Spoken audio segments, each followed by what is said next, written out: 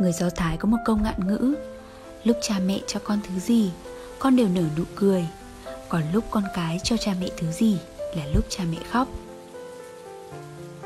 Bên ngoài trời đang có mưa rất to.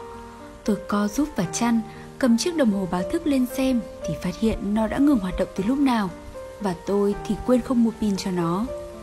Bên ngoài trời lạnh như thế, Tôi quả thực không muốn ngồi dậy, liền gọi điện cho mẹ. Mẹ ơi, đồng hồ báo thức của con hết pin rồi. Ngày mai con có cuộc họp ở công ty. Khoảng 6 giờ mẹ gọi điện đánh thức con dậy nhé Mẹ ở đầu dây bên kia giọng như đang ngái ngủ nói. Được rồi, mẹ biết rồi. Sáng hôm sau, điện thoại báo thức vang lên. Trong lúc tôi vẫn còn đang mộng đẹp. Ở đầu bên kia đường dây, mẹ tôi nói.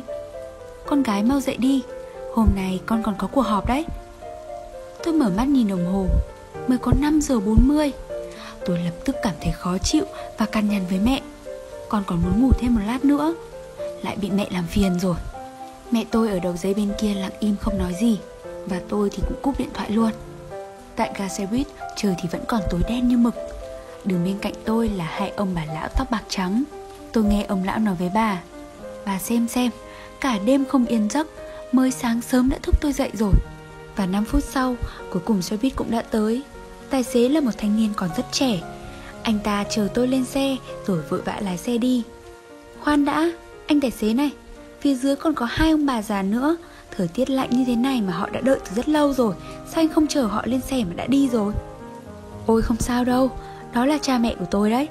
Hôm nay là ngày đầu tiên tôi lái xe buýt Và họ đến để xem tôi. Tôi đột nhiên rơi lệ Nhìn lại dòng tin nhắn của cha tôi. Con gái à Mẹ của con cả đêm không ngủ được Mới sáng sớm đã tỉnh dậy. Và bà ấy lo cho con sẽ muộn giờ. Khi bạn chập chững bước đi Chỉ có cha mẹ là người nắm lấy đôi bàn tay nhỏ bé Dìu dắt bạn đi những bước đi đầu đời. Khi bạn gặp khó khăn, trắc trở Hay khi cả thế giới đều quay lưng lại với bạn Thì cha mẹ vẫn luôn che chở ở bên, vỗ về bạn. Khi cha mẹ còn Nhà là nơi để về.